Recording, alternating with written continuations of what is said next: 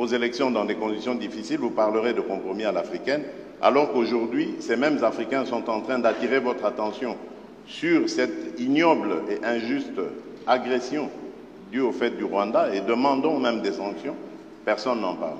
Voilà euh, ce que je voulais apporter comme précision pour dire ça aussi, ça doit changer dans la manière de coopérer avec la France et l'Europe.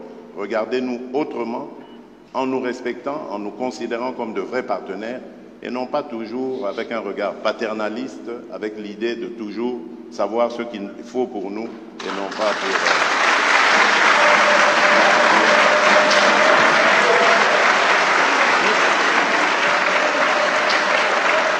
Voilà, merci. Je pense que le président Macron oui, malgré les vivas, si le président Tshisekedi m'y autorise, je, voudrais apporter un commentaire au commentaire. Je m'explique.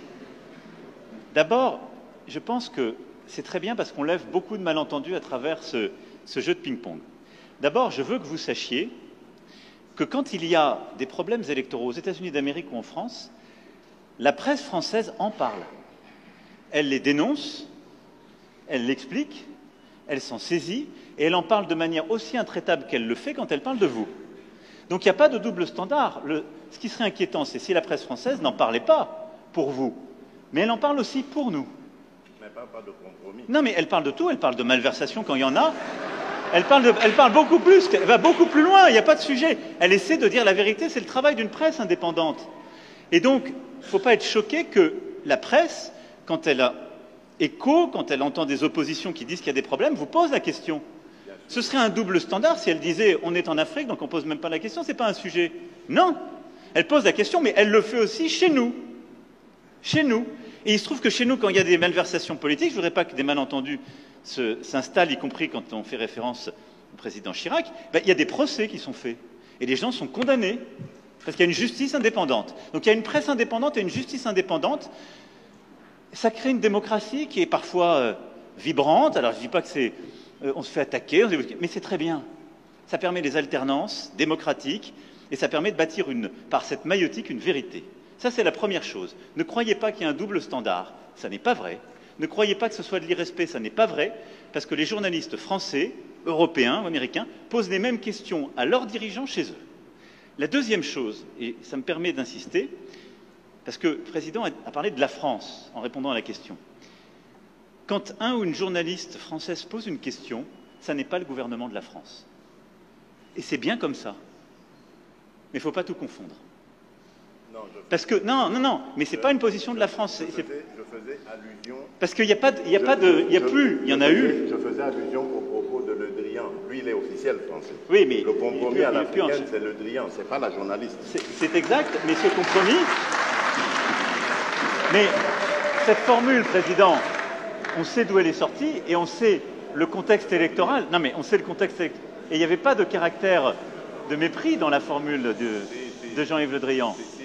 À Nairobi, d'ailleurs, grâce à toi, on a pu euh, Oui. s'expliquer avec eux. Et la France a beaucoup œuvré, vous le savez ô combien, pour qu'il y ait alors une alternance, qui n'aurait pas été à ce moment-là un mécanisme spontané. Je ferme cette parenthèse, mais je voulais faire ce- cette précision. Pardon. Merci, euh, très bel échange. Alors, je pense qu'on va peut-être réduire euh, la phase questions-réponses. Il nous en reste deux. Alors, messieurs les journalistes, posez votre question que si bien. elle n'a pas encore été posée ou s'il n'y a pas eu de réponse apportée. Alors, on va prendre euh, une autre question congolaise. Euh, messieurs Patient, Ligodi de Actualité.cd. Il est par là. Merci, merci beaucoup au président Emmanuel Macron. Je suis désolé de revenir là-dessus. hein. En décembre dernier, la secrétaire d'État Chrysoula Zakoro-Poulou a ouvertement condamné au nom de la France le soutien apporté par le Rwanda au M23. Trois mois plus tard, qu'est-ce qui fait qu'au plus haut niveau, vous n'arrivez toujours pas à le faire? Pourquoi la langue lourde sur cette question Monsieur le Président, pourquoi le mot agression est considéré comme un mot tabou? Votre homologue juste à votre côté l'a prononcé six fois, j'ai compté. Pourquoi avez-vous du mal à nommer l'agression rwandaise alors que tous les rapports indépendants le disent et le prouvent? Vous avez tout à l'heure parlé des discours de vérité. Alors le peuple congolais voudrait également entendre cette vérité de votre bouche, l'agression rwandaise. Au président Tshisekedi, Excellence, N'avez-vous pas l'impression d'être pris au piège par l'EAC et à tous ces processus? Trois calendriers, trois calendriers de retrait. Toujours rien. Comment sortir de ces pièges alors que le mandat offensif de la force régionale est bien clair? Merci. Tu commences peut-être? J'en ai euh, Être pris au piège, je ne pense pas. D'abord, euh, lorsque la République démocratique du Congo a décidé d'adhérer à l'EAC, ce n'était pas pour euh, des problèmes sécuritaires. Au contraire, c'était pour des problèmes d'avantage douaniers. Je vous rappelle ici que la majeure partie de nos compatriotes vivant à l'Est, les, les, opérateurs économiques, j'entends, et même bien d'autres dans d'autres secteurs, travaillent souvent avec les pays d'Afrique de l'Est. Et lorsqu'il y a importation de denrées de tout, de, de tout genre, c'est par les ports de Mombasa et euh, de Dar es Salaam principalement que cela vient. Et donc, nos opérateurs économiques n'étaient pas dans les mêmes conditions de concurrence que leurs euh, homologues des pays voisins. Et ça avait un impact négatif pour notre économie parce qu'ils étaient obligés à ce moment-là de migrer vers euh, ces pays, de vivre là-bas et donc de faire gagner plus de ressources à ces pays-là qu'à la République démocratique du Congo. Donc ça, ce n'est que pour euh, l'aspect économique. Il y en a bien d'autres qui ont milité à ce que nous prenions la décision d'adhérer à cette euh, communauté. Et puis, vu la taille de la République démocratique du Congo qui se situe au centre de l'Afrique, ça aurait été une opportunité formidable, surtout en ce qui concerne aujourd'hui la zone de libre-échange continental, l'intégration de l'Afrique. Ça aurait été une opportunité formidable d'adhérer, et ça l'est, c'est une opportunité formidable parce que ça nous permet d'être au cœur de tous ces échanges entre l'océan Indien et l'océan Pacifique. Donc il faut regarder notre adhésion à la communauté d'Afrique de l'Est de cette manière-là. Malheureusement, entre-temps, par accident ou par euh, velléité hégémoniste ou euh, euh, de, pillage de nos ressources, le Rwanda nous fait la guerre, mais cela ne doit pas remettre en cause toute la raison d'être de notre adhésion dans, dans cette communauté. Alors, maintenant, lorsque vous me parlez de piège, je ne, suis pas d'accord avec ça.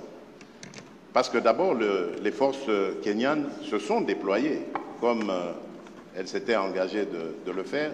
C'est le cas aujourd'hui.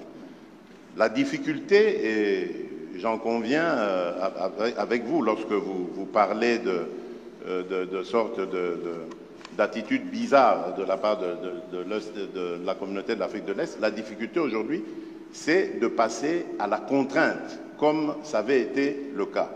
Mais vous savez, euh, la contrainte, c'est la guerre. La guerre, on sait quand on la commence, on ne sait pas quand on la termine. Vous avez plusieurs exemples dans le monde aujourd'hui. Et je crois que euh, ces pays veulent donner la chance à la paix, mais alors jusqu'au bout.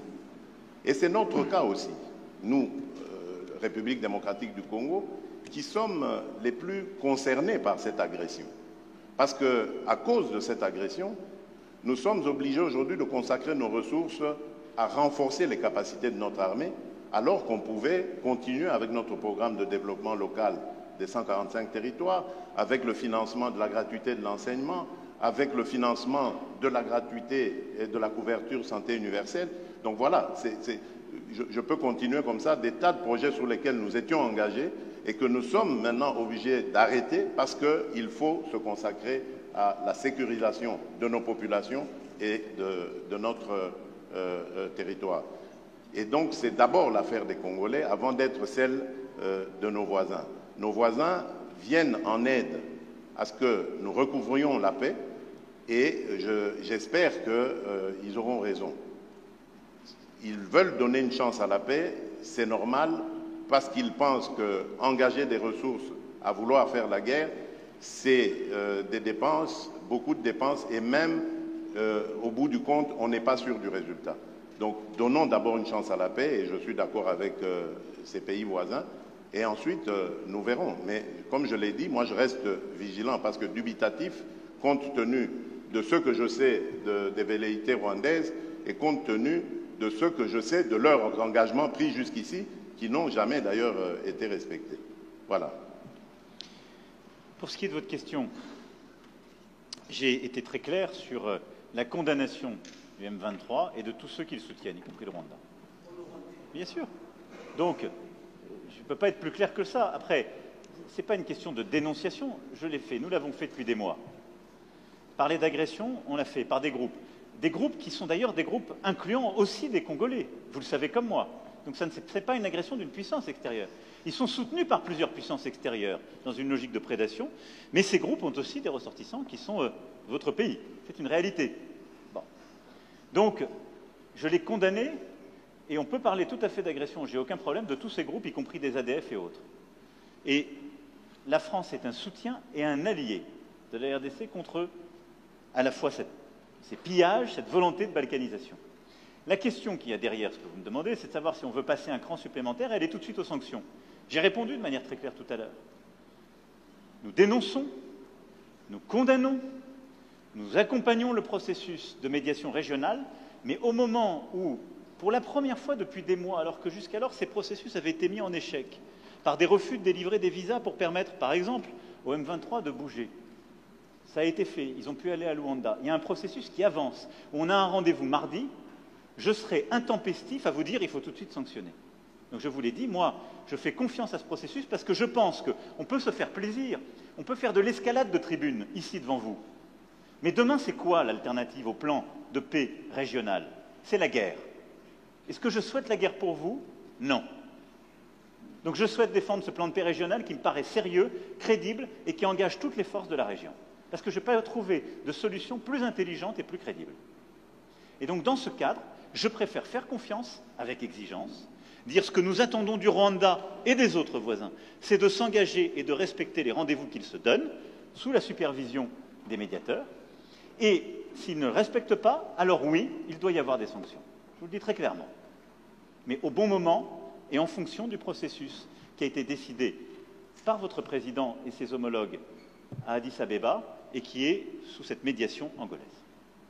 Alors la dernière question est de Madame Méral Christelle de France Télévisions. Bonjour, Christelle Méral de France Télévisions. La question s'adresse au président français. Euh, Monsieur Macron, après plusieurs jours en Afrique, vous rentrez donc euh, demain matin euh, en France. Le pays, mardi, pourrait être bloqué en raison de la réforme des retraites. Alors, est-ce que vous ne redoutez pas que le blocage s'installe? Et puis, si la réforme devait rester très impopulaire, est-ce que vous ne craignez pas que l'on vous reproche de ne pas être à l'écoute des Français? Vous comprendrez bien que j'ai déjà fait plusieurs commentaires sur cette réforme des retraites, qui a fait partie de mon engagement présidentiel, et je ne vais pas, depuis ici, compte tenu des sujets qu'on est en train d'évoquer, de la lourdeur de, de l'actualité, de l'importance stratégique de cette tournée en Afrique, faire de nouveaux commentaires sur les commentaires. Je n'ai pas grand-chose de neuf à dire.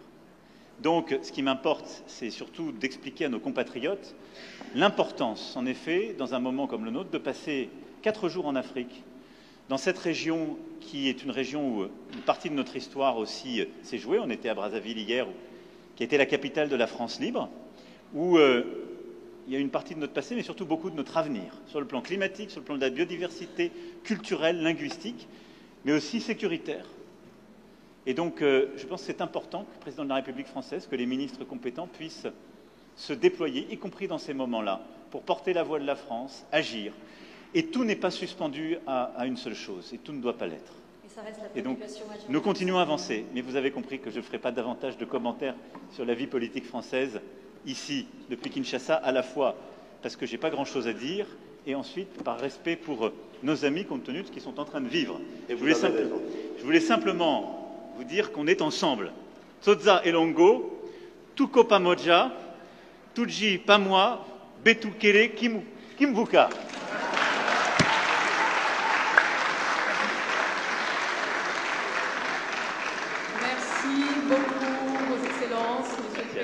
de la RDC de la France. Vous êtes prêts à ce jeu de questions-réponses. Merci à tous. Restez assis, s'il vous plaît.